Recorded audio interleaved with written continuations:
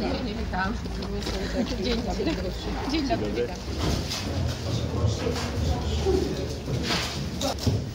Proszę Państwa, faktycznie spotykamy się, myślę, że już na ostatnim etapie prac, które zmieniają naszą ulicę Włókienniczą. Kiedyś, kiedy jeszcze można tylko było marzyć o tym, żeby zmienić ten kawałek Łodzi, chyba nikomu z nas nie, przychodziło na myśl, jak może w wyobraźni wyglądać ta ulica, mam nadzieję, że chwilą, kiedy będzie skończona, wszyscy powiemy, że te nasze wyobrażenia jak gdyby były niewspółmierne do tego, co zastaniemy na tej ulicy, bo faktycznie zmienia się ona praktycznie każdego dnia bardzo intensywnie. Dzisiaj spotykamy się w szczególnym budynku, budynku Hilarego Majewskiego, zwanego architektem Łodzi, który jak przystało na e, pałac, tak można powiedzieć, bo dla mnie bez mała to jest mały pałac architekta Łodzi, przede wszystkim e, daje nam olbrzymią wiedzę o tym, jak kiedyś wyglądał ten obiekt, ponieważ myślę, że z racji, iż był budowany dla architekta, był wykonany jednak zdecydowanie, zdecydowanie w lepszej może technologii albo bardziej wykonany bardziej szczegółowo, bardziej w sposób umożliwiający, żeby ten obiekt przetrwał długie lata, bo faktycznie okazało się, że kondycja tego budynku i ilość zachowanych, pięknych elementów zdobniczych w tym budynku jest naprawdę imponująca, dzięki czemu przede wszystkim możemy cieszyć się jednym, że elewacja, która już częściowo jest odsłonięta, ona będzie jeszcze znowu rusztowaniami pokryta, ale na ten moment te elementy, które są oryginalne, to nie są elementy dorabiane, to nie są elementy, które trzeba na nowo odlewać. Większość z nich została zachowana w oryginale i będzie, jest już odczyszczona. Oczywiście część elementów zdobniczych, które nie przetrwały, trzeba było zdjąć, trzeba było zrobić odlewy i będą one uzupełnione. Natomiast y, to, co bardzo istotne, będzie w tym budynku bardzo, bardzo wiele oryginalnych elementów. To są przepiękne polichromie, stąd spotykamy się właśnie w tym pomieszczeniu, żeby podziwiać to, co nad naszymi głowami. To są piękne marmur, marmurowania i wszelkie inne elementy zdobniczo-złoceniowo, y, że tak powiem, przyozdabiające tą przestrzeń. O tym, jak będzie wyglądał ten budynek, już wkrótce się przekonamy, ale o skali, w jakim mierzymy się, jeśli chodzi o zachowanie dziedzictwa, tego oryginalnego dziedzictwa w tym budynku, świadczy chociażby fakt, że wartość prac w tym budynku to jest wartość kontraktów, to jest przeszło 14 milionów złotych, z czego większa część, bo przeszło 7, idzie na pracę sensu stricte konserwatorskie, nie związane bezpośrednio z zachowaniem struktury budynku i kwestiami budowlanymi, tylko właśnie konserwatorskim. To pokazuje, z czym mierzymy się w stosunkowo małym obiekcie, jakim jest willa Hilarego Majewskiego. Bardzo dużo ciekawostek, e, między innymi e, zabytkowe kraty w budynku piwniczny, w oknach piwniczych, które były zamurowane i zostały odzyskane dla nas dla podobności. Możemy zobaczyć, jak one wyglądają. To, co bardzo istotne, e, wszystkie te grube prace, prace budowlane kończymy do końca roku.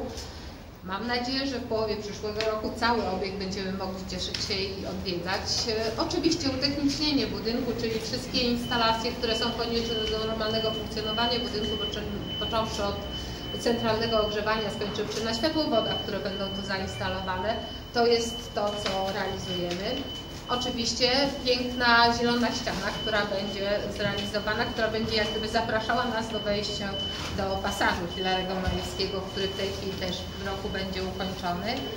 I jeszcze z tych dużych liczb to praktycznie 13 budynków, które są w tej chwili w trakcie e, rewitalizacji na ulicy Włókienniczej. 10 z nich będzie w tym roku już oddanych do użytku, zostaną 3, które będą sukcesywnie oddawane w, w latach następnych. Myślę, że ubiegły rok, przyszły rok będzie takim, który będzie większy już przebudowę kompleksową ulicy Włókienniczej, wyłączając oczywiście e, cztery budynki, które musimy uzyskać własność do nich, a te procedury niestety trwają bardzo długo, byśmy mogli myśleć o tym, że cała Włókiennicza się zmieni.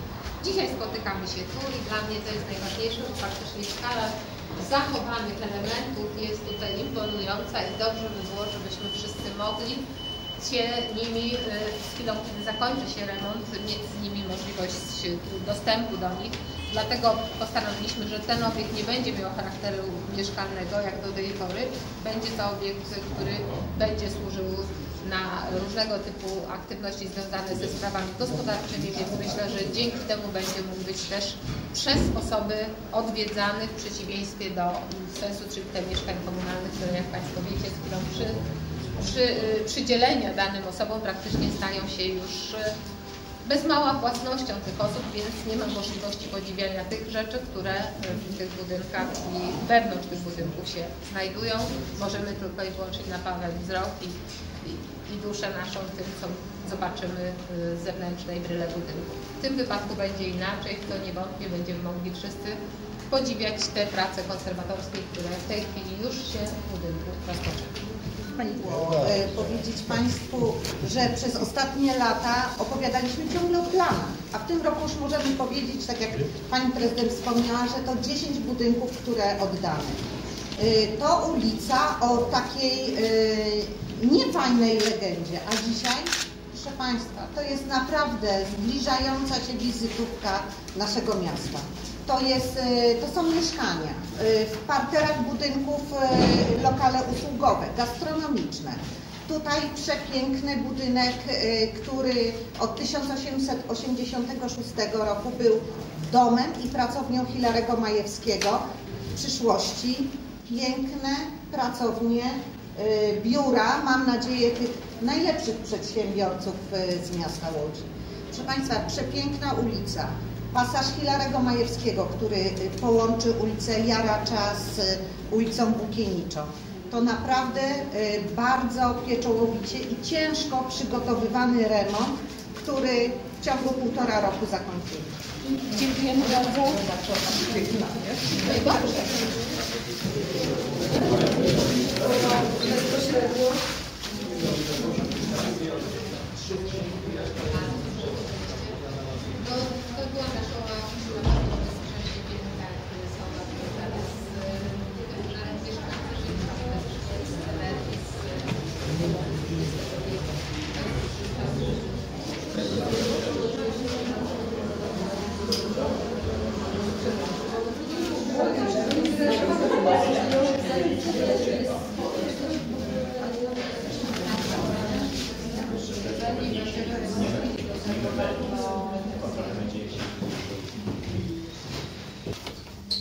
அது walking okay